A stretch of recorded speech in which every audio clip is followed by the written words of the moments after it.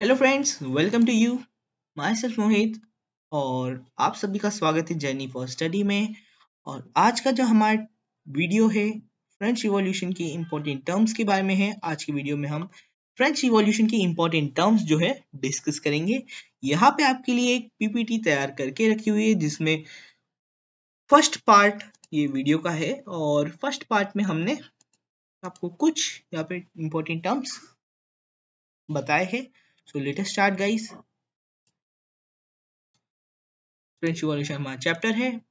Important terms first आता है guys हमारे पास बेस्टाइल फोर्ट तो बेस्टाइल फोर्ट हमारे लिए बहुत ही एक कॉमन सा वर्ड हो गया है. बेस्टाइल हम जानते हैं क्या है?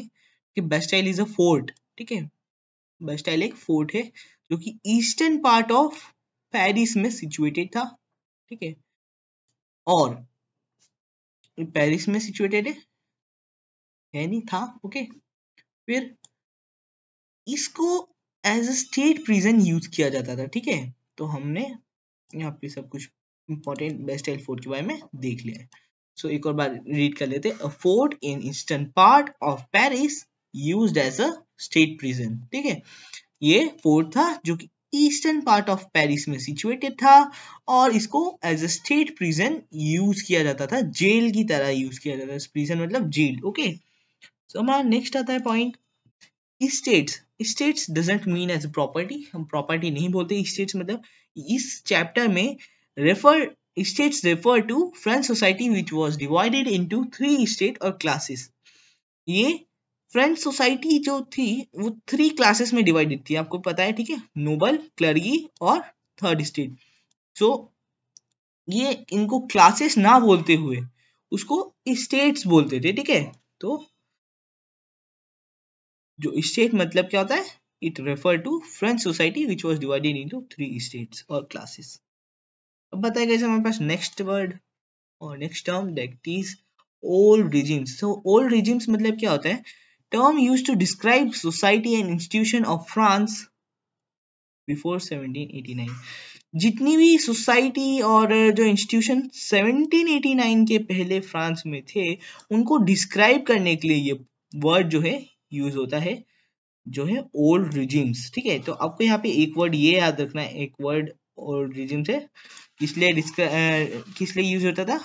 सोसाइटी और इंस्टीट्यूशन डिस्क्राइब करने के लिए फ्रांस की, और किसके पहले 1789 के पहले के टर्म पहले के इंस्टीट्यूशन को डिस्क्राइब करने के लिए।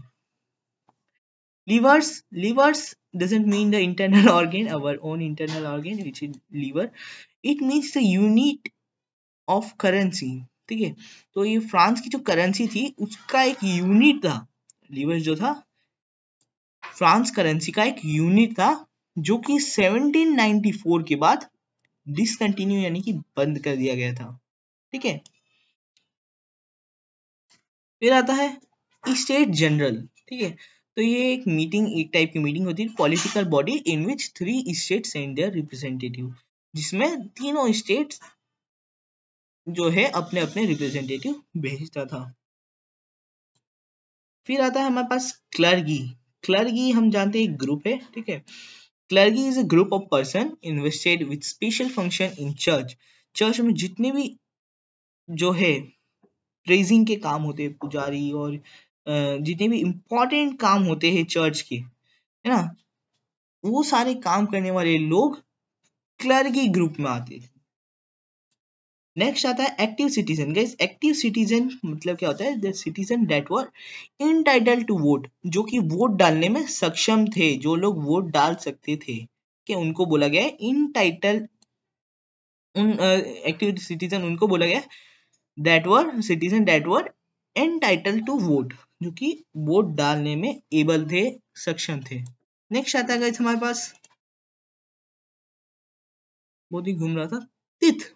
ठीक है तो टिथ्स हमारे पास एक और टर्म आता है। टिथ से हम भी बहुत ज़्यादा फैमिलियर है, ये भी वर्ड बहुत ही कॉमन हो गया है अभी।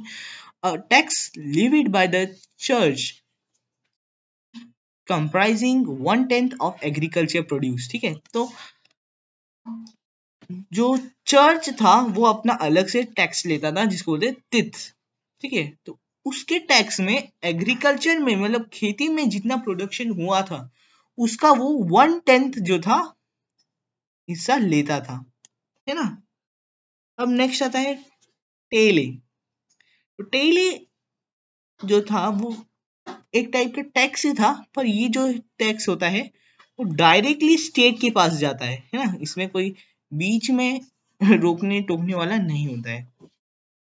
या फिर कलेक्ट करने वाला कोई नहीं होता है। ये डायरेक्ट जो है स्टेट जो किंग रहता था, वो उसके पास जाके जमा होता था। फिर आता है चैट्यू। चैट्यू मीन्स कासल और stately residence belonging to king or a nobleman, ठीक है? वहाँ की जो कासल और स्टेटली रेसिडेंस मतलब वहाँ के जो प्रिंस और किंग वगैरह जो रहते थे वहाँ के, है ना? तो उनकी जो कासल्स उनके जो महल रहते थे, उनको बोलते थे चैट्यू। अब आता है next word manor manor is state consisting of lord his mansion जहाँ पे लैंडलॉर्ड जो जो इसकी स्टेट्स होती थी और स्टेट्स यहाँ पे प्रॉपर्टी से मीन करता है ठीक है? यहाँ पे जो स्टेट है वो प्रॉपर्टी से मीन करता है ओके सो so, जो उसकी स्टेट्स होती थी और उसके मेंशन को मैनोर बोलते हैं। So that's all for today's video thank you guys अगले वीडियो में हम और भी इंपॉर्टेंट टर्म्स को डिस्कस करेंगे। Thank you